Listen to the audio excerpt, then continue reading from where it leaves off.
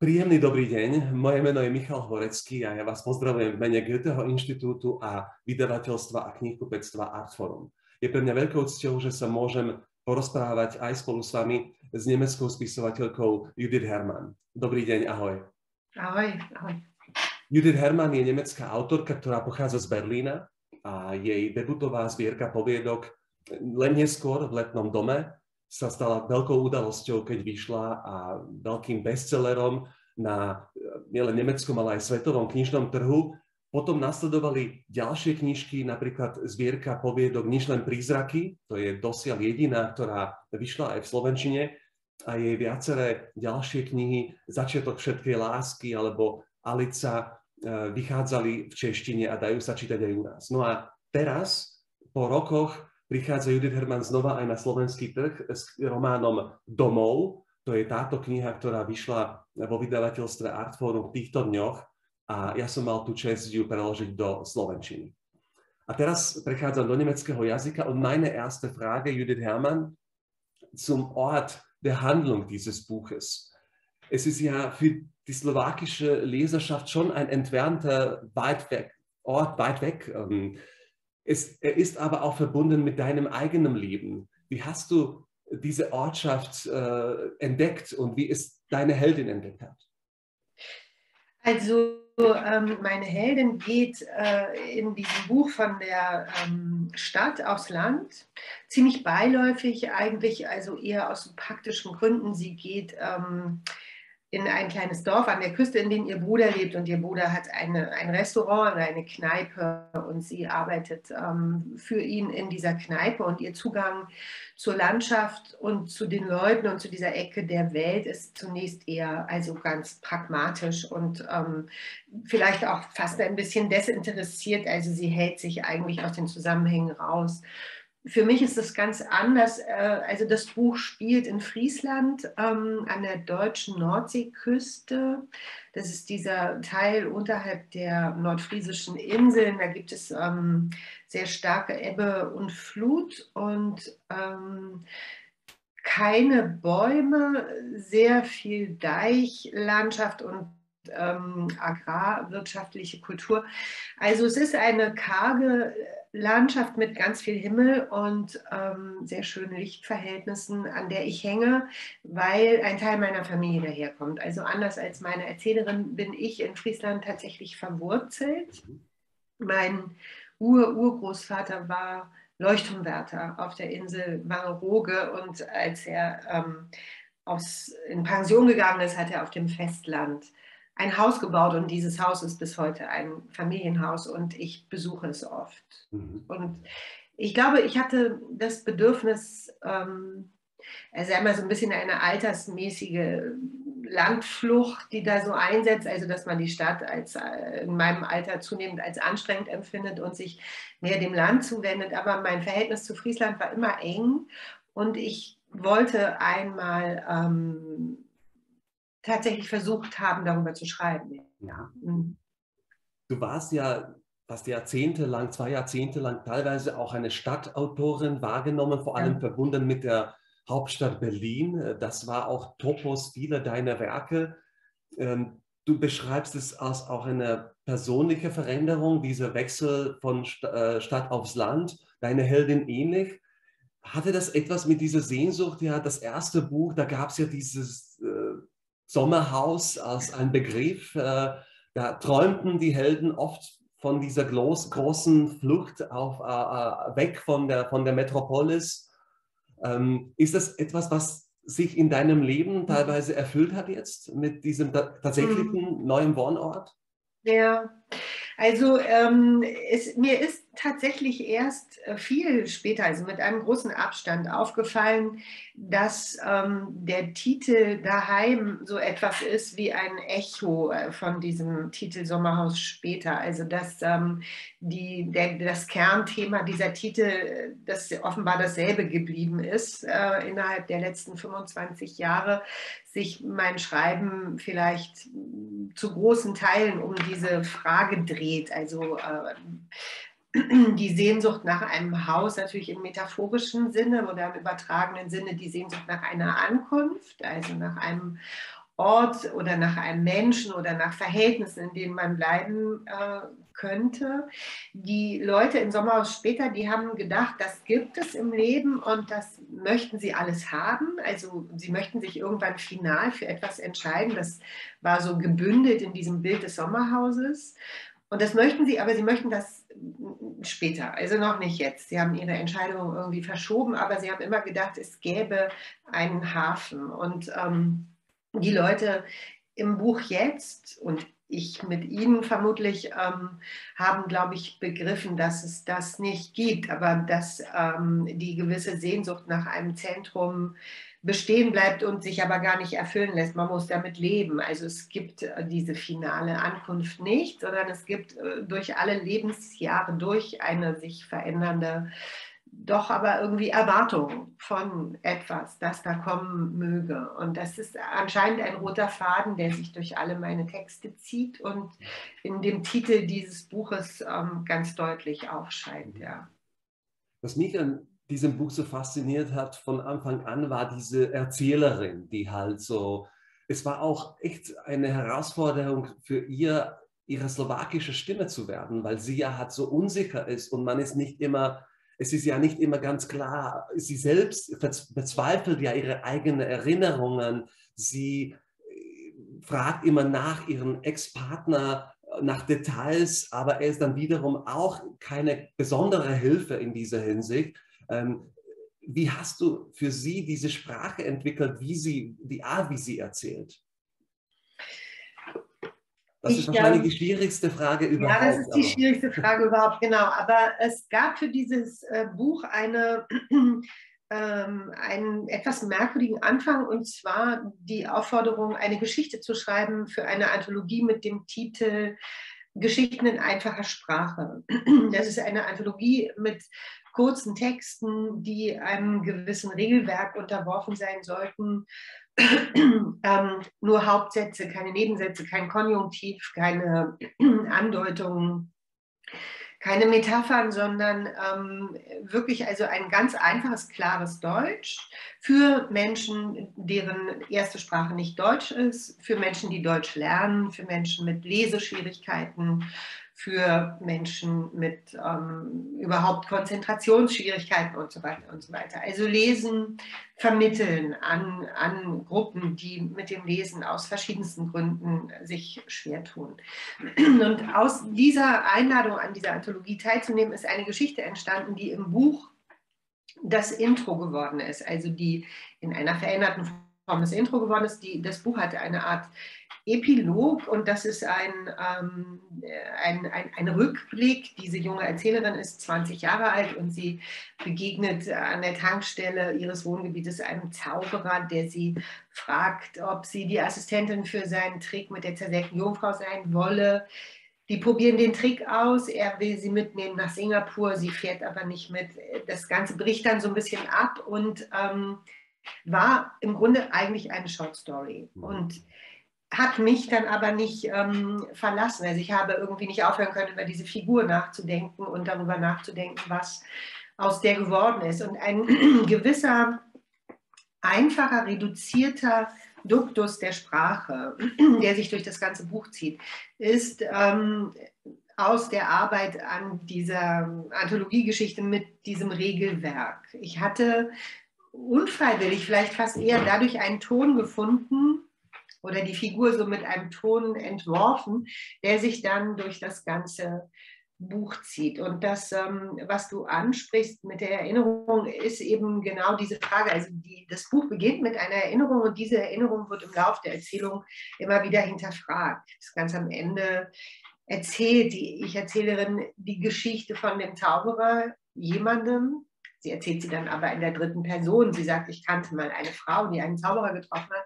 Und es ist irgendwie gar nicht mehr richtig klar, was ist erinnert was ist ausgedacht, was wurde erzählt, was ist also wie eine Sage im Grunde auch. Und das ist ein Thema, was mich zusätzlich zu diesem Erwartungsthema vielleicht doch sehr beschäftigt. Also die jetzt liegen ja so viele Jahre hinter uns. Also ich meine, ich bin jetzt 50 und mein Kind ist, so wie das der Erzählerin im Buch, groß. Es ist aus dem Haus und ich ähm, stehe an diesem gewissen Wendepunkt des Lebens und blicke zurück und ordne meine Zeit. Und ähm, es gibt so viele Dinge, an die ich mich erinnere und viele Dinge, an die ich mich nicht erinnere und Dinge, an die ich mich zu erinnern meine.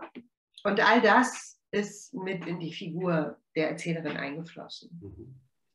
Wie hast du das wahrgenommen, selbst dieser, diesen Umzug ähm, aufs Lande?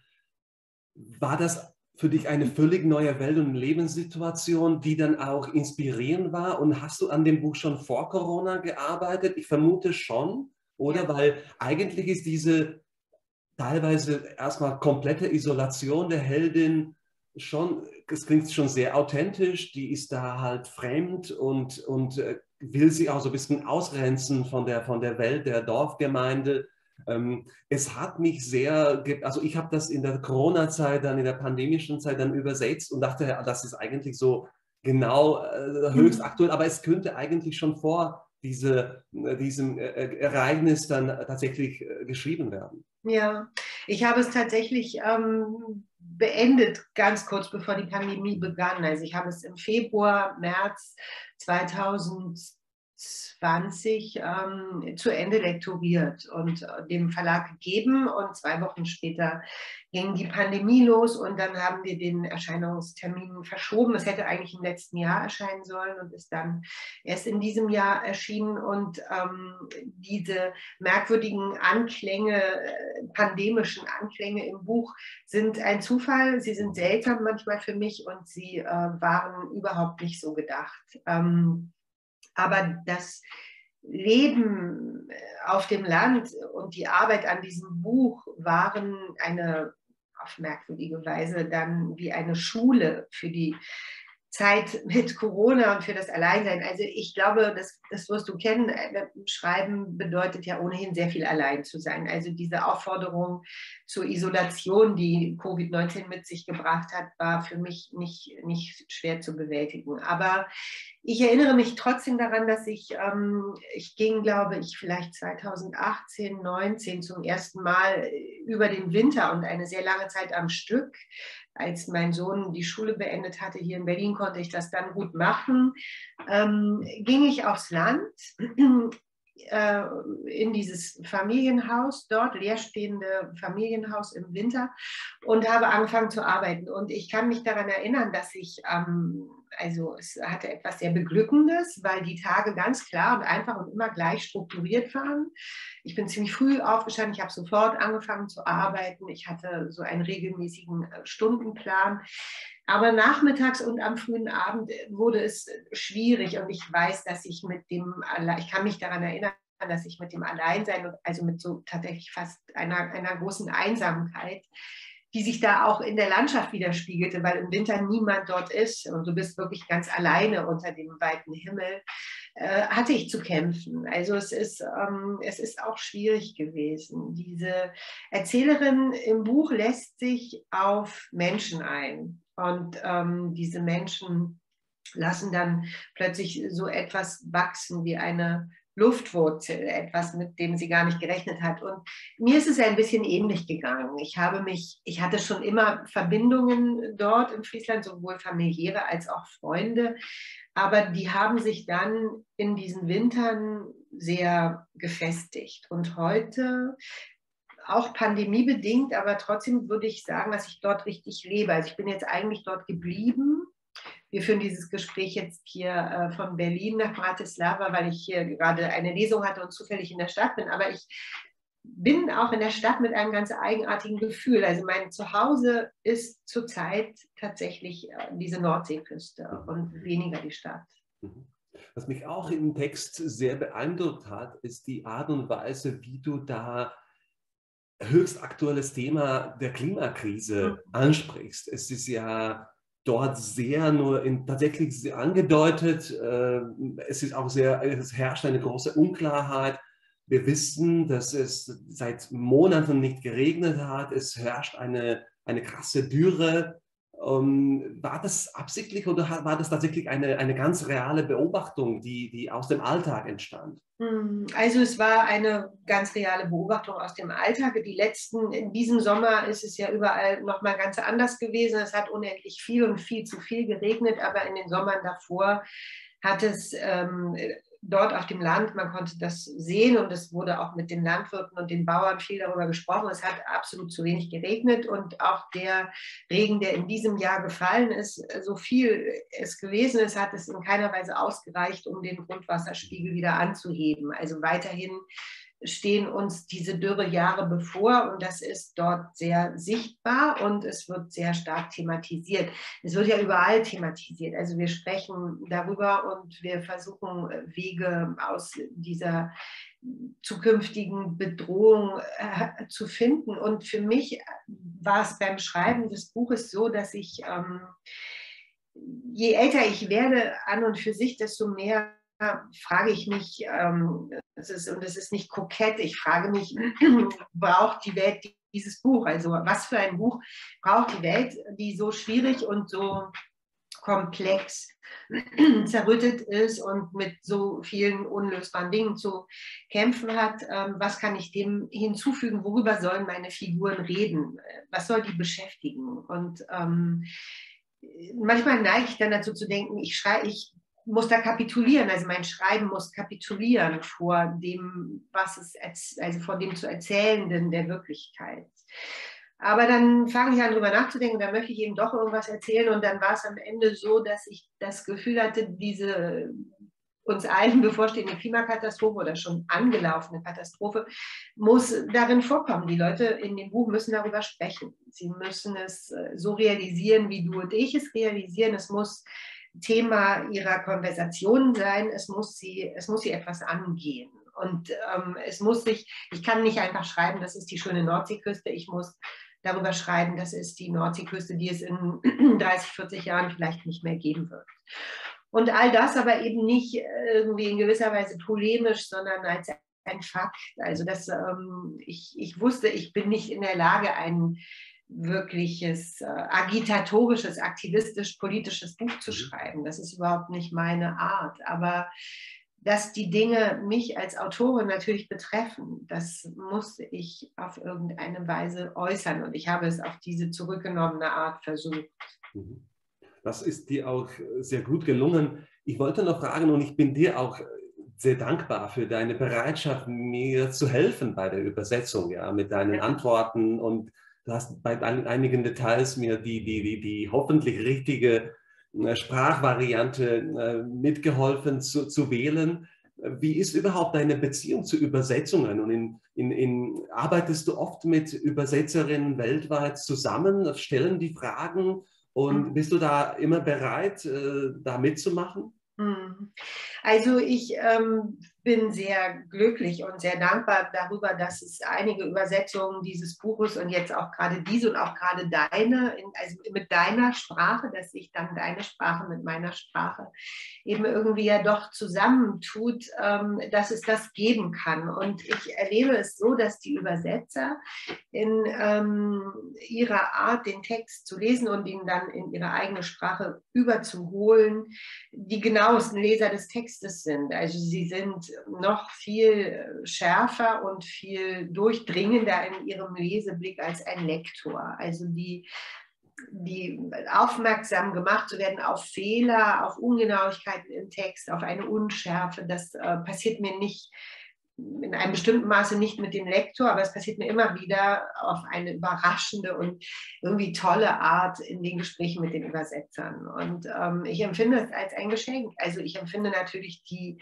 hm, Potenzierung des Buches in verschiedenen Sprachen. Es gibt dann so viele daheim Bücher in verschiedenen Sprachen als ein Geschenk, aber eben auch diesen genauen Blick auf meinen Text. Mhm. Und es gibt Übersetzer, so wie du, die Fragen, nachfragen und Mails schreiben und einen kleinen Fragenkatalog haben. Und ich bin sehr froh, den beantworten zu können. Ich mache das sehr gerne und ich bin sehr neugierig auf diese Fragen. Es gibt aber auch andere Übersetzer, denen ich zum Teil nie begegne und die ähm, auch darauf bestehen, das ganz und gar alleine zu machen. Das hat mich manchmal ein bisschen irritiert, aber meine französische Übersetzerin hat es einmal sehr schön und überzeugend begründet damit, dass sie sagte, sie müsse ganz und gar in den Text hineinschlüpfen und wenn ihr das gelingt, würde, hätte sie keine Frage. Also ihre, ähm, sie müsste das irgendwie alleine klären. In dem Moment, in dem sie mich anspricht, geht sie aus dem Text und äh, das versucht sie zu vermeiden. Also bleibt sie mit dem Übersetzungsprozess für sich. Ich, es gibt ähm, jetzt, es gibt eine ähm, Reihe Atriumsgespräche im Übersetzerkolleg in Strahlen hier in Deutschland am Rand der niederländischen Grenze. Und da hatte ich ein Zusammensein mit mehreren Übersetzern äh, und wir haben gemeinsam über den ersten Roman Aller Liebe Anfang gesprochen. Das war eine unvergessliche Woche mhm. mit einem persischen Übersetzer, mit einer französischen Übersetzerin und äh, der amerikanischen Übersetzerin. Also vollkommen unterschiedliche Sprachen und Herangehensweisen an den Text.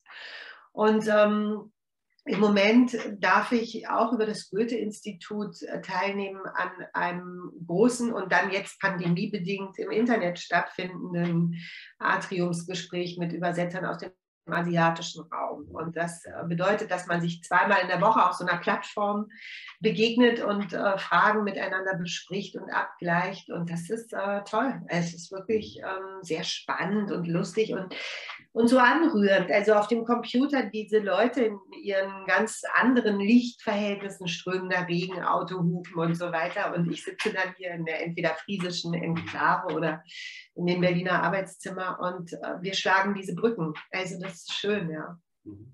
Ich gebe zu, dass mir bei der Übersetzung auch deine Stimme geholfen hast, weil ich dann auch das Hörbuch gehört habe und bei einigen Unklarheiten hat mir das tatsächlich geholfen, zu besser wahrzunehmen, ja. wann die Heldin noch was denkt und wann sie spricht, weil das ist ganz nicht hundertprozentig immer absolut klar im Text. Und dann war das, ich glaube, für mich ist überhaupt dein Schreiben engst verbunden mit auch Hören deiner Stimme. Du selbst als Vorleserin. Ähm, was bedeutet eigentlich für dich das Vorlesen eigener Texte? Weil ich spüre das beim Daheim schon sehr, dass das teilweise diesen minimalistischen Stil, der aber unglaubliche Wirkung hat auf den Leser, der entsteht auch aus diesem tatsächlich Erzählerischen, glaube ich. Also das Vorlesen ähm, ich, ist ein ganz großer Teil der Arbeit. Also wenn ich mit dem Grundtext fertig bin und die Geschichte ist erzählt und ich habe, ich bin einmal vom Anfang und durch den Berg durch und dann wieder aus dem Berg herausgekommen, fange ich an, mir den Text laut vorzulesen oder ich lese ihn einem imaginären Gegenüber vor und ich lese ihn so lange laut und äh, verändere die Interpunktion und die ähm, manche Sätze und Worte, bis ich an einen bestimmten Rhythmus, in einen bestimmten Rhythmus gelange, den ich mir für diesen Text vorstelle. Also ein musikalisches Verständnis von Sprache und ähm, der damit einhergehende Versuch, also so, ja, ich gerate, ich gerate dann auch so fast so ein bisschen in so eine, also auch so rhythmische Bewegung beim Vorlesen und so. Also mir ist das dann immer der, der schönste Teil des Zusammenseins mit dem Text, weil es irgendwie, ich, ich habe eigentlich das große Ganze geschafft, mir kann nicht mehr so viel passieren. Und jetzt ist es so diese Fein, Feinarbeit. Und ähm, am Ende möchte ich, dass der Text klingt und auf eine bestimmte Weise für mich klingt. Und es ist schön zu denken, dass du dieses äh, Lesen, diese Art, wie ich den Text vorlese, mit in die Arbeit genommen hast. Ich kann mir vorstellen, dass es viele Stellen gibt, an denen sich das dann besser erschließt. Ja ich mache viele Lesungen auch aus dem Buch jetzt und manchmal kommen Leute und sagen, ja, sie hätten es jetzt äh, ganz anders, sie hätten es jetzt richtig verstanden und so. Das ist dann immer so ein bisschen zweifelhaftes Kompliment, weil ich denke, dass ähm, ich, eigentlich soll es natürlich funktionieren, auch wenn man es liest, aber ähm, wenn man es selber liest. Aber offenbar ist dann doch natürlich an diesem Vorlesen nochmal etwas dran, was den Text zusätzlich auffüllt. Ja. Mhm. Ich wollte noch vielleicht zum Abschluss fragen, du hast ja, du bist ja schon lange im Geschäft eigentlich sozusagen. Du bist ja lange Autorin. Mhm. Du hast das angesprochen, mit 50 ist man sozusagen an einem Wendepunkt im Leben und auch die, das Kind ist groß und erwachsen und man, man beginnt eine neue Phase. Du bist gerade auch mitten auf einer langen, tollen Tour mit dem Buch. Das Buch war auch sehr erfolgreich, was ich, das ist auch ganz wunderbar. Ist das das Leben, das du sich damals dich vorgestellt hast, als du äh, debütiert hast vor. Äh, 1998 war das, glaube ich, Sommerhaus später, das erste Buch. Hattest du damals überhaupt eine Vorstellung, das kann ich Vierteljahrhundert eigentlich machen, äh, mhm. professionelle Autorin sein? Ja, das ist eine schöne und ein bisschen auch traurige Frage. Also, das ist, ähm, ich habe das natürlich nicht gedacht. Ich habe nichts gewusst von all dem. Und je ähm, älter ich damit werde, desto mehr merke ich, dass es vor allem äh, mit sich bringt, äh, wirklich ziemlich viel so für sich zu sein. Also, dass es ein Beruf ist, der, es ist, klingt pathetisch, aber es ist einfach so im Vergleich zu anderen Berufen ziemlich einsam ist. Ja? Also, es ist einfach ein sehr zurückgezogenes Dasein. Und was ich nicht wusste und nicht kannte, war dieses, diese Idee der Lesereise und so anstrengend eine Lesereise ist, ähm, holt sie dich aber natürlich trotzdem für eine gewisse Weile aus diesem Alleinesein raus und setzt dich vor ein Publikum von diese äh, Leser, die dann da sitzen und oftmals sehr freundlich sind und ähm, etwas erzählen über ihre Art und Weise, den Text zu lesen. Und das ist ein Zwiegespräch, über das ich dann froh bin und das ähm, mir eigentlich auch immer hilft, mich vom Text so zu lösen und dann den Text final zu verlassen, um anfangen zu können, über einen neuen Text nachzudenken. Ich kann mich daran erinnern, dass ich auf der ersten Lesereise mit Sommerhaus später, da wusste ich überhaupt gar nicht, wie strapaziös aber auch eine Lesereise sein kann, ähm, wochenlang unterwegs war. Und äh, heute mache ich das nicht mehr. Heute mache ich drei Lesungen, dann gehe ich wieder nach Hause und fahre eine Woche später wieder los. Also ich habe so ein Limit. Damals wusste ich von diesem Limit nichts. Und es, ähm, ich kann mich daran erinnern, dass ich nachts auf dem Hauptbahnhof von Hannover stand äh, für einen Nachtzug irgendwie in die Schweiz und es gab keine Handys und keine äh, Mobiltelefone, kein WhatsApp. Ich stand in einer Telefonzelle auf diesem Hannover Hauptbahnhof mitten in der Nacht und habe meine Eltern angerufen und habe geweint und gesagt, ich will keine Schriftstellerin mehr sein. Also es war wirklich, äh, heute rührt mich das so selber, ich rühre mich da selber, diese Erinnerung an ähm, diese totale Überforderung. Ich muss gedacht haben, das soll Schriftstellern sein, also das soll es sein zu schreiben. Ich konnte in den Zügen nicht schreiben, in den Hotels nicht schreiben und ich hatte gar keine Kraft, die Städte zu besichtigen und ich war irgendwie äh, völlig erledigt. Und das zu lernen, sich immer wieder zurückzuziehen und den Literaturbetrieb draußen zu lassen und sich zu entscheiden fürs Schreiben, bei jedem Buch neu. Es ist nicht so, dass du, wenn du ein Buch geschrieben hast, dass du schreiben kannst. Du fängst mit jedem Buch von vorne an. Es ist nie sicher, ob es ein weiteres Buch geben wird. Das habe ich nicht gewusst damals. Und ähm, heute finde ich es schwer, dass es so ist, aber auf der anderen Seite denke ich auch oft, es ist eben eine immer wiederkehrende Herausforderung unter Bedingungen, die zum Teil ganz gleich sind. Es gibt nur dich, den Schreibtisch und das Blatt Papier. Dann fängst du irgendwann an und Bedingungen, die sich ändern. Schreiben in oder während einer Pandemie ist sicherlich anders als äh, Schreiben in Friedenszeiten, ja.